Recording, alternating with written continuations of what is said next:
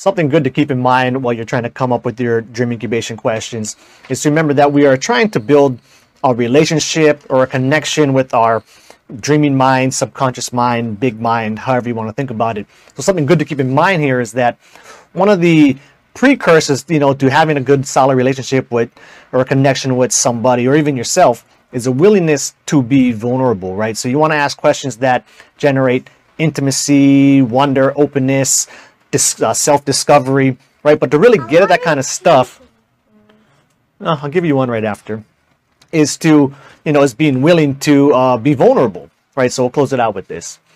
Asking the right question reveals as much about the person who asks the question as what is revealed by the answers. Questions that make you ponder, be curious, and unravel new aspects about yourself and life are great types of questions.